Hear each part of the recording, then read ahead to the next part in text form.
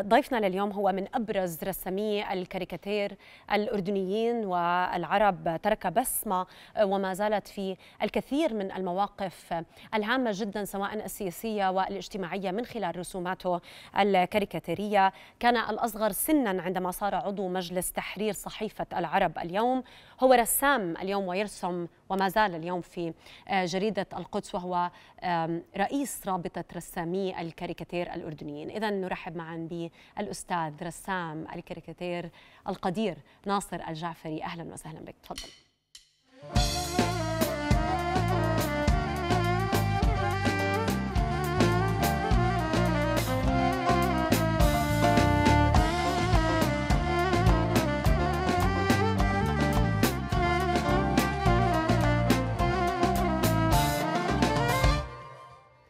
أستاذ ناصر أهلا وسهلا بك. شرفنا ونورتنا بحلوة يا دنيا. وأخيرا أصبحت علينا وطليت علينا ضيف بالبرنامج فشكرا لك على شكرا حضورك. لكم شكرا لكل متابعي رؤيا شكرا لمتابعي هذا البرنامج الجميل ولجهدكم. شكرا لك. أهلا وسهلا. اذا يعني سنبدأ معك عندما قلت كنت الأصغر سنا عندما أصبحت عضو مجلس تحرير صحيفة العرب اليوم ولكن ما قبل ذلك اهتمامك بالرسم بشكل عام نقل الحالة التي كنت تمر فيها سواء منذ الطفولة أو عندما كبرت كنت دائما ترسم. وكان لك معلم في المدرسة ويعني استشرف حياتك المستقبلية حياتك المهنية وقال لك أنت ستصبح رسام كاريكاتير مميز. يعني بدنا نعود إلى هذه الحالة صحيح هاي هاي التجربة كانت علامة فارقة حقيقة. أنه أنا أنا لا أعرف نفسي متى بدأت بالرسم. يعني عادة أنا الأطفال برسموا. بقدروش بأي عمر زمني هم بدأوا بالرسم لكن كان عندي اهتمام أسرتي فيها إلي أخ رسام أيضا ودرس الفنون في إيطاليا. بس أنا ما أخذتش تركيز عادي واستثنائي على الرسم. كان جيلنا يتابع رسومات ما يصلنا من رسومات الفنان الشهيد ناجي العلي. هي كانت ولا زالت الحل الأبرز بالكاريكاتير العربي. بقي تعاملي مع الكاريكاتير ك يعني كشيء ما لهش مسمى مش موصوف كاسم. بإحدى المراحل الدراسية بتذكر بالأول ثانوي اللي هو السابع اليوم إنه المدرس طلب منا رسم كاريكاتيري. كانت الكلمة شبه مجهولة بالنسبة لزملائي. أنا عارف شو الكاريكاتير. شو كاريكاتير إنه مدرسة حكومية في الأشرفية. المدرس بيجي بيحكي أنا أنا جاد في مسألة تدريس الفنون. فبالتالي بتنزلوا على المرسم وبالمرسم بدنا نرسم كاريكاتير هلأ أنا المفارقة إنه أنا يعني الوضع طبيعي بالنسبة لي فرسمت كاريكاتير واذكر إني رسمت كاريكاتير يعني بذلت فيه جهد على غير العادة بحصص الرسم. أه وجمع الرسومات بعد أيام استدعاني فأنا خشيت إنه أنا مسوي مشكلة. قال لي أنت رسمت هاي الرسم؟ قلت له من, من متى بترسم؟ أه ليصل بالنهاية إلى نتيجة اللي أنت رسام كاريكاتير ويجب أن تبقى رسام كاريكاتير لساتك محتفظ بهاي الرسمة أو بتتذكر شو كانت؟ بتذكر شو كانت شو الرسمة كان؟ وأنا كنت بعتقد إنه في عقوبة من وراء الرسمة لأنه أنا ما بعرف شو كان بذهني إني رسمت وجه بشري نصفه وجه بشري ونصفه يعني أجلكم الله حذاء عسكري فكانت الرسمة غريبة وأنا ما بعرف يعني شو اللي بذهني فيها والرسم دخل في مسابقة مدارس عمان وحزت فيه على أول جائزة بعالم الكاريكاتير من مديرية التربية. أوف. فهذا أثر فيه جدا طبعا. وهذا دائما إحنا بنحكي هاي التجربة أنه المدرس قد يذهب بك إلى حلمك قد يذهب بك إلى عالم يعني مختلف. وفعلا الله. أكملت مع الكاريكاتير. يعني من هالمنبر نحيي كل المعلمات صحيح. والمعلمين. اللي بيأثروا في طلابهم أحيانا بانتباه أكثر بكلمة برعاية ما قديش بيحددوا. المعلم الذكي بيكون شايف تلاميذه صحيح. لوين رايحين. صحيح. لأنه بيعرف مواهبهم وبيعرف ممكن يستشرف وين ممكن يكونوا في المستقبل. وأهم من لربما أهم من التربية والتعليم والله أعلم هذا الشيء اللي بحكي فيه. جزء مهم جدا لأنه هون البناء هون صناعة التلميذ والطالب للمستقبل. على كل حال كنت صغيرا عندما أو ما بعرف شاب مقتبل العمر لسه يا دوب جديد نشروا لك كاريكاتير في صحيفة فرنسية أو في مجلة فرنسية. صحيح. هو أعطينا التفاصيل شو رسمت متى كان عمرك شو اسم هالمجلة أو الصحيفة؟ كان هذا الحكي عام 91 على ما أذكر كان في صحيفة عربية بالمهجر. تعرف دائما الصحف العربية بالمهجر إذا بدها تحكي بتكون برا بتكون خارج دولها وكانت في فرنسا صحيفة عربية اسمها المحرر. والمحرر كانت تصل منها نسخ محدودة جدا الناس يحجزوها. أوف. نعم كانوا الناس يحجزوا نسخهم عند المكتبات إنه أنا حتى أنا يعني إنه أنا بترفع لي عدد لما يجي لأنه هاي الصحيفة آه، سقفها مرتفع آه، نوعا ما ساخرة والكاريكاتير فيها له مساحة كبيرة. كل رسامين الكاريكاتير العرب في هذه المجلة. فأنا رسلتها كشخص يحلم كشاب يعني 20 سنة يحلم أن يكون له مكان في هذه النشرة. آه، فوجئت إنه بالعدد اللي بعده أحد أصدقائي بيجيب لي العدد إنه رسمتي على الصفحة الأولى حتى عند الترويسه بنسميها يعني عالية جدا. فكان هذا مفاجئ بالنسبة لي. وفعلا بدأت أرسل لهم الرسومات السياسيه الكاريكاتير الناقد وينشر وتحول إلى يعني أول أول تجربة إنه أحقق دخل من وراء الكاريكاتير بمعنى إني أصبح رسام كاريكاتير بتقاضى أجر على هذه الرسومات بمعنى إنه مقدر مش بالمعنى المادي بمعنى إنه هذا جهد مقدر وعليك كذا رسمة بالشهر وبدأت الحكاية هكذا. طبعا انقطعت بمراحل لكن بدأت. نعم. حضور رسومات الكاريكاتير أستاذ ناصر أشعر بأنها دائما تكون في حالة يعني صعود ونزول صعود ونزول صحيح. بحسب الحالة السياسية الحالة الاجتماعية التي يعيش بها يعني ما بدنا نقول يمكن الدولة ولكن أيضا العالم. ودائما ما يعني يبزغ نجم الكاريكاتير في الحالات التي تكون صعبة جدا. والتاريخ طبعا شاهد على الكثير من الرسومات الكاريكاتيرية التي غيرت وجهات نظر في العالم. صحيح. غيرت سياسات أحيانا. صحيح. رسمة كاريكاتير غيرت سياسة كاملة في دولة معينة. حدثنا أكثر عن هذه الحالة. من هم الرائدين في رسم الكاريكاتير في العالم العربي؟ شو في حالات تذكر أنها حصلت سواء مع حضرتك على الصعيد المهني ولا أو مثلا ممكن مع بعض رسامي الكاريكاتير؟ رسام رسم رسمة وعملت حالة جدل كبيرة جدا وغيرت مثلا في قطاع معين أو في وجهات نظر معينة. يعني يمكن هذا بخلينا بس نرجع أساسا إلى فن الكاريكاتير متى نشأ لدى الإنسان. ولو بشكل سريع. هو فن آه، الإنسان ابتكره قبل الكتابة. آه، بمعنى إنه قبل ما يصل إلى أبجديات بوادي الملوك بمصر البرديات آه، الرسوم المنقوشة هي فيها عناصر الكاريكاتير. صح. مبالغة السخرية كل العناصر الفنية التي تختص بفن الكاريكاتير. هلأ ذهب هذا الفن إلى التطور مع مع تطور الحياة أول بأول. إلى أن وصل بعام 1660 إنه بإيطاليا وبفرنسا نشر كفن كاريكاتير فن رسم ناقد. آه، بيحكي عن الحياة السياسية والاجتماعية. دخل إلى العالم العربي آه، بالعام 1880 1890 من بوابة مصر طبعا. يعني هو بدأ في مصر وعاد إلى مصر مرة أخرى. كان في مجموعة من الرسامين. منهم رسامين مصريين ورسامين مصريين من أصول أجنبية وهذا كان طبيعي في مصر صاروخان سانتيز.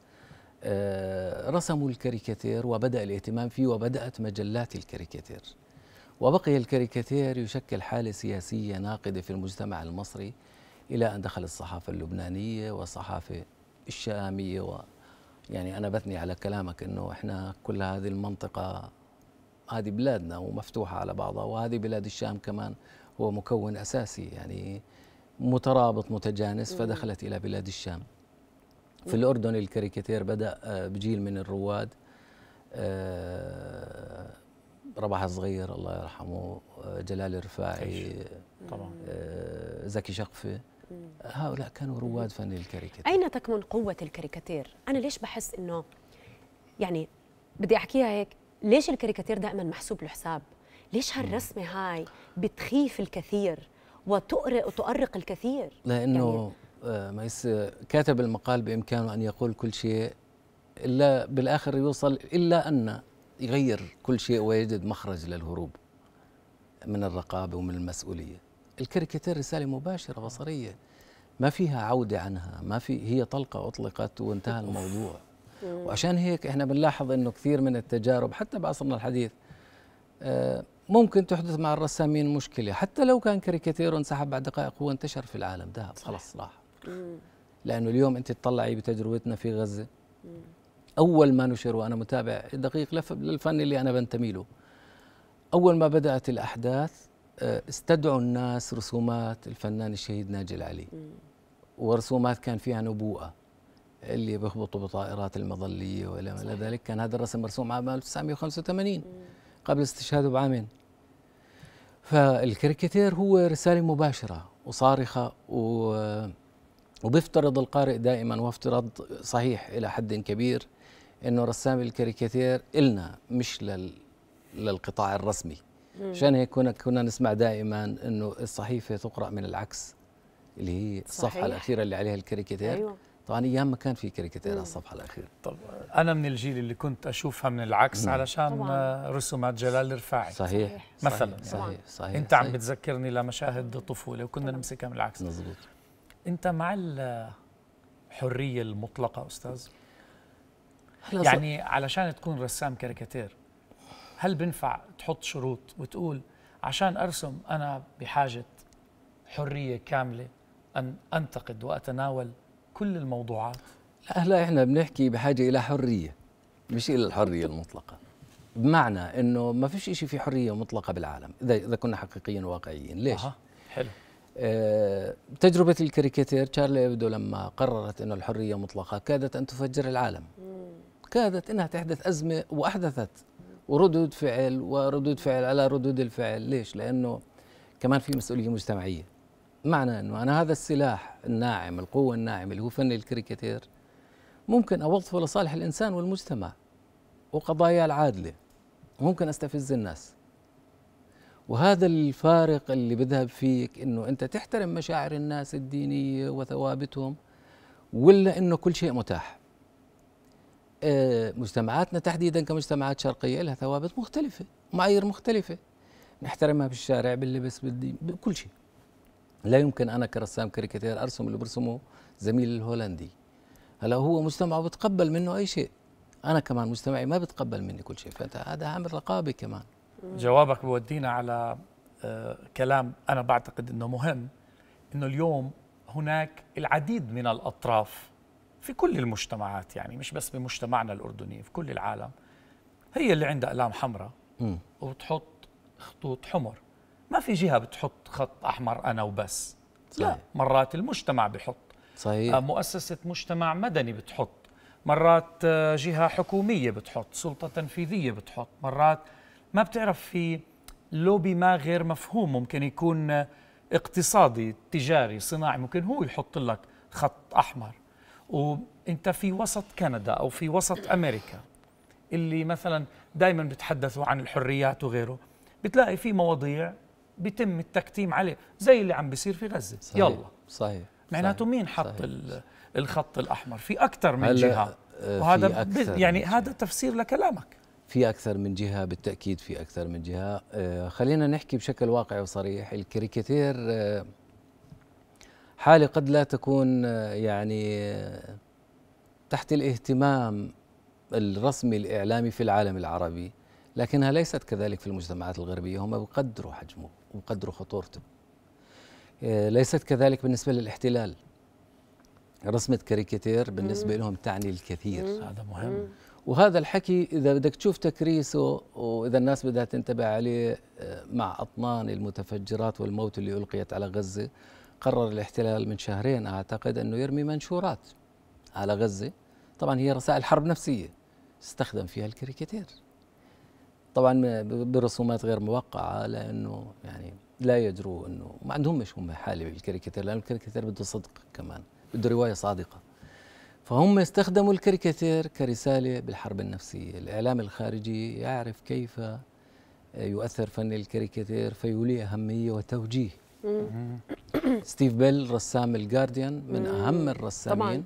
تم وهو تسريحه. محب للأردن بالمناسبة وكان بيجي بزورنا من بداية الأزمة على رسم واحد انتقد. نتنياهو. بالضبط. لأنه انتقد نتنياهو انتقد سرحوه. نتنياهو كشخص صح. استغنت تخيلوا هذا. هدول اللي بتغنوا وبينظروا على العالم هذا. بالديمقراطيه ونتنياهو فاسد في مجتمعه. صحيح. يعني مش إحنا اللي بنحكي عنه. ما عندهم أيوة. مشكلة. آه. ما عندهم مشكلة. وبالمناسبة قبل يومين أو امبارح أنا آه، قرأت واحد من أهم رسامي الكاريكاتير ال- الفرنسيين. بالنسبة لنا أكيد مش مهم لأنه آه، في فترة من الفترات كان ينشر رسومات مسيئة للرسول صلى الله عليه وسلم. وفرنسا انطلاقا بما تعتبره هذه حريات دي- دينية لرسام الكاريكاتير أو لأي شخص كان. له الحق بأن ينتقد أينما كان حتى لو كان هذا الشخص آه، أو هذه الشخصية مقدسة وتعني الكثير لعدد كبير من الناس وخاصة المسلمين. وقتها فرنسا دافعت عنه. طبعاً. ولكن قبل يومين آه، نشر آه، واحدة من الرسومات عن غزة. ينتقد بها السياسات العالمية الغربية بما يحدث بغزة تم تسريحه من عمله. طبعا. تخيلوا لأي درجة هذا بنرجع بنقول هذا الغرب الذي يتغنى لا لا. بالديمقراطية وينظر علينا. لازم نتوقف عند غزة أستاذ. نتابع طبعا منذ البدايات الرسومات التي آه، نشرتها آه، بهذه الحرب آه، على غزة. يعني شو هي الحالة اللي بتمر فيها وأنت ترسم وأنت تشاهد وأنت تسمع وأنت تتابع الأخبار؟ ما هي حالة رسام الكاريكاتير؟ وهو الأقوى حضورا أنا بالنسبة لي خلال هذه الفترة على الحرب. وطبعا الآن سنعرض الكثير من الرسومات التي نشرتها. آه، يعني ميس من أثقل وأصعب التجارب كانت ولا زالت آه، الرسم عن غزة آه، الصورة أبلغ وأكثر تأثيرا من أي شيء. حجم الألم والمعاناة لا يوصف. بالتالي رسام الكاريكاتير عليه أن يتابع. أولا وهذه مهمة شاقة. بمعنى أنه بده يتوقف عند المشهد تلو المشهد. ما يفوته المشهد. وهذه مرهقة مش لأنه إحنا بنهرب من المتابعة إلا أنه زي ما تفضلت بمدخل الحلقة أنه طبيعتنا الإنسانية أحيانا بدها جزء من الراحة. لكن بحالة الكاريكاتير بتعرف الشهداء بتعرف هذا وين استشهد؟ وبتعرف هذا كيف قصته وبتعرف هذا شو اللي صار؟ وهذا الحي شو صار فيه؟ وهذه المنطقة شو اللي صار فيها؟ وشو ردود الفعل عليه. فبالتالي الرسم عن التفاصيل اليومية في اكتظاظ بالمشاهد الإنسانية. ومن جهة أخرى الجريمة. ومن جهة أخرى آه، يعني فلتان العالم برواية الاحتلال اللي مش موصوف. آه، من جهة ثالثة الأطفال كمعاناة قصة لحالهم النساء قصة لحالهم كبار. ففي كثير كثير من المشاهد وأمامك هذه المساحة اللي بدك تختزل فيها مشهد. فبالتالي بدك تأخذ وطبعا هو لا يرقى إلى حجم الكارثة بدك تأخذ إشي من هذه المشهدية يعكس وجهة نظر سياسية مش يقول إنه فلان استشهد يوم كذا الساعة كذا لأنه الفوتوغرافيا أقوى والفيديو أقوى. لكن أنت بدك تحكي للعالم هذا الطفل قصته أصبحت قصة على مدار السنين زي ما اليوم ناجي العلي بنقول لنا رسومات من زمان. فبالتالي هي مهمة شاقة مختلفة. آه الله يعين الناس اللي هناك. إحنا يعني هذا حد أدنى من التفاعل مع القصة لكن هو جزء مش عادي ومرهق. نعم. وتشعر إنك يعني كرسام ممكن إحنا كمان كإعلاميين نحن نتحدث نكتب ننشر ولكن نشعر بأن كل ما نقدمه هو شيء أضعف الإيمان ضعيف قليل جدا. نتمنى أن نقدم أكثر وأكثر من أجل الإغاثة الحقيقية لهؤلاء الأشخاص. هل تشعر بأنك يعني أوفيت بحقك؟ هل هذه الرسمة تنقل فعلا ما يحصل على أرض الواقع شوف. ولا لم يعد هناك أي شيء يستطيع أن يصف بشاعة ما يحدث على أرض الواقع في غزة؟ أنا بعتقد أنه الشارع العربي الشارع الأردني منه بتوجهاته اللي دائما مرتبطة بقضايا المصيرية وبقضايا الناس. يشعر أنه لديه أكثر يقدمه. لكن بالحالة الإعلامية قد تصلي إلى مرحلة أنه أنا شو بعمل شو بسوي؟ لكن بس تطلع على الحالة بمنظور أكبر آه، تجدي مدى تأثيره. يعني اليوم بشكل مفاجئ أنا على ال social media على شبكات التواصل بتطلع بفترة غزة ازداد عدد المتابعين عندي انتبهت إلى لغاتهم فاكتشفت أنهم ليسوا عرب وجنسياتهم. بالتالي أنت نقلت رسالة إلى مجتمعات أخرى. نعم. مشاهدك ومقاطعك وإثارتك لقضية لها علاقة بما يحدث وخروجك على الشاشة للحديث عنه بتنتقل إلى مجتمعات أخرى وبتبعث هاي الرسالة والأسئلة. هذا حجم التحول الخطير اللي حدث هاي المرة ما اجى مصادف. صح. يعني إحنا بنطلع أحيانا بنحكي بالكاريكاتير تحديدا إنه في صراع على الرواية أيضا. في أحد المواقع الهولندية اللي هو موقع مفتوح للنشر بدون رقابة. سامعكم فؤاد. شو ما بدي برسم بحطه أنا مسؤول عنه.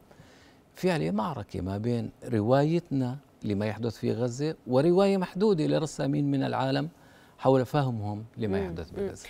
منتابع هذا الفيديو أستاذ.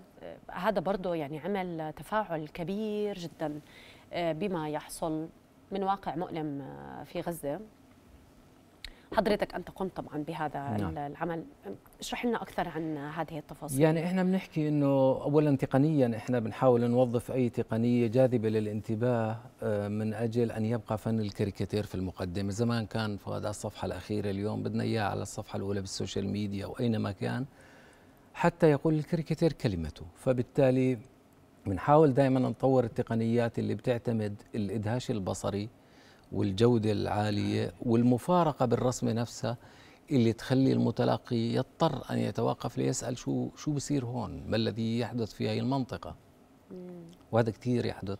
وكثير بيجينا أسئلة أه استغربها بيبدأوا الناس يسألوك عن تفاصيل عن غزة وعن تفاصيل عن الصراع وعن تفاصيل عن المنطقة. لم يكونوا يدركوها.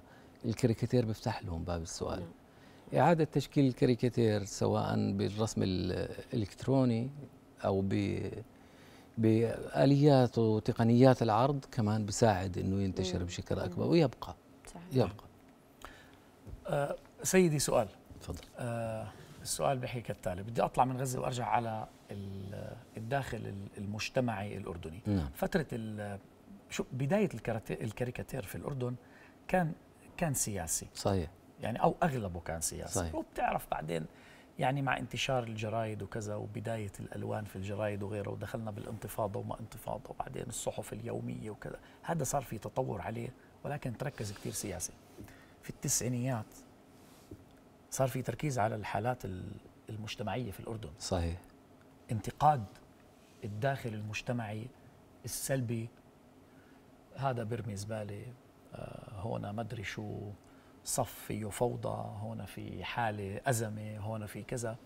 بعدين صارت الكاريكاتير كمان في تجسيد لشخصيات يعني بنعتمد اليوم شخصية character آه، بنخلقه كاريكاتير وبصير هو يتفاعل مع المجتمع. بس على أرض الواقع وبعدين انتشر انتشار كتير كبير وكلياتنا مبسوطين وبنضحك لما بنشوف. بس اليوم رسام الكاريكاتير طب إذا ما شاف نتيجة والله بيأس طبعا. وهلأ أنا وياك بنسترجع كل الأرشيف تبع التسعينات وحدة وحدة والعشرات لا بل المئات بس الحالة السلبية ولا صار عليها شيء يعني على فكرة مش بس انت وإحنا بالإعلام نفس الشيء نفس الفكرة. انت أحيانا كثير بتتوقف بنحكي إنه وهذا دائما سؤال بيننا وبين زملائنا إنه إحنا اشتغلنا بالصحافة اليومية الأردنية. ما حدث شيء أفضل. ما صح. فبتصير تحكي أنت ما عملنا شيء مش عم بيأثر بالناس. ما أثر. هلا في قوى أخرى دافعة باتجاه آخر؟ لها علاقة ب بأشكال جديدة ظهرت من الإعلام أثرت بشكل أسرع وأكبر. آه، خلال فترة التسعينات ظهور موجة المحطات الفضائية بالتالي انحسرت اهتمامات الناس عنك باتجاه إعلام أوسع. صار يشوف لبنان وسوريا ويشوف الدنيا كلها عنده بالبيت. بالتالي بطل هو مركز معك تماما. بعدين وهي قصة كمان كثير كبيرة وبجوز لأني أنا اشتغلت صحافة مع الكاريكاتير يعني متابع إلها. كان مطلوبا أن لا يبقى إعلام مركزي قناعتي فبالتالي بدأت شبكات التواصل تتغول وتتوسع إلى أن أصبح كل جيل وكل عمر عنده إعلامه الخاص. آه، في عائلات اليوم ما عندها تلفزيون. بيكتفي بمشاهدة الموبايل ومشاهدة القنوات اللي بده إياها. في جيل يتابع المحطات المدفوعة فقط في جيل يتابع وإن كان لسه بالأردن إحنا بشكل عام بنتابع رؤية ونتابع لكن القصة الحقيقية وهذا على فكرة اليوم أمريكا والغرب بدفعوا ثمنه لأنهم تعمدوا أنه ما يكونش في إعلام مركزي وأدى إلى نتيجة إيجابية أن طلاب الجامعات بأمريكا وصلهم ما لا يريدوا أن يوصلوا عن طريق صحيح. إعلامهم الرسمي. صحيح. ويعني شربوا من الكاس اللي هم عملوه يعني. لأنه اليوم الإعلام بتوسع. هلا التأثير كمان في قوى سلبية بكل المجتمعات في قوى ضاغطة في بيروقراطية بكل المجتمعات في مسؤولين ما بيحبوا الكاريكاتير وما بيحبوا النقد وما بيحبوا المقال الا بالتالي كمان هذا قلص حريات الحريات من شأنها كان لما تتقلص إنه ما يصير تغيير كبير. في اليوم رقابة مجتمعية مخيفة كمان لأنه أنت اليوم تتلقى ردة الفعل مباشرة والمجتمع آه، مش واحد واثنين آراء واتجاهات. هذا جزء من اللي بخاف منه رسام الكاريكاتير كمان وبحسب. الحساب اللي هي الرقابة المجتمعية صحيح. أنا سميت العديد من لما حكيت عن المجتمع حكيت كثير في رقابات بس ما حكيتش مثلا كمان عن المجموعات الدينية أحيانا أكيد. في مجتمعات طبعا طبعا وعندنا في أحيانا بيوازع ديني هون ولا هون ولا هون يعني في هو دائما نابع من مش بس كل مجتمع له ظروفه هذا آه, آه, آه بس يعني هو هو نابع دائما من إساءة الفهم أكثر من مم. من يعني مثلا لما بنحكي بالحالة الدينية أنا ما بعتقد إنه في رسام كاريكاتير وجه أي يوم رسالة مزعجة دينيا يعني بقصد. ربما في حالات تصير فيها إنه الكاريكاتير يقترب. بس صار في حالات والقضاء اعطى الان ذكرت الان يعني وصلت القضاء صحيح والقضاء أعطى رأي. بس أنا بعتقد أستاذ sorry على المقاطعة إنه بتعرف هاي الأمور نسبية. صحيح. يعني مثلا عندي ممكن يكون عندها مساحة. مزبوط. عندك مساحة أكبر عند ميس مساحة أكبر وأكبر. أكيد. فهنا بيصير الاختلاف. أنت بتشوفه عادي. صح. هناك بيشوفوا أوبا جريمة. هنا بيشوفوا وسط نص. فيها وما فيها. الموضوع جدلي أنا يعني. قناعتي إنه يجب أن تراعى خصوصيات كل, كل مجتمع, مجتمع. يعني أحكي لك أنا كثير على اتصال واطلاع على الكاريكاتير المصري. بحبه جدا وبحب زملائي بمصر وعلى تواصل معهم. وعندهم بيت كاريكاتير وعندهم أرشيف تاريخي من الكاريكاتير. المقاييس والمعايير المجتمعية بمصر مختلفة عن الأردن. عندهم راحة وأريحية أكثر. لحد الآن؟ لحد الآن. مقياس الحريات في الكاريكاتير سياسيا لا. أنا بحكي اجتماعيا. اجتماعيا. يعني عشان أكون دقيق آه. سياسيا الحالة بتشبه بعضها بكل العالم العربي. لكن اجتماعيا هو ممكن يقبل مساحة أعلى. آه, آه زي مختلف أعلى. آه مجتمع بطبيعته مرح صحيح. طبيعته. عندنا لا. آه عندنا بدك تراعي طبعا في هناك كثير. من آه. التقييدات آه. طبعا. آه لاي مجتمع وكل الاحترام طبعا بالنهاية طبعًا لجميع طبعًا المجتمعات. إحنا بالنهاية بدنا نشكرك. جزيل الشكر الاستاذ ناصر الجعفري رسام الكاريكاتير. شكرا لك على حضورك. شكرا لكم. وشكرا على هاي الاضاءه فن الكاريكاتير شكرا لك. أهلا وسهلا. يسلمكم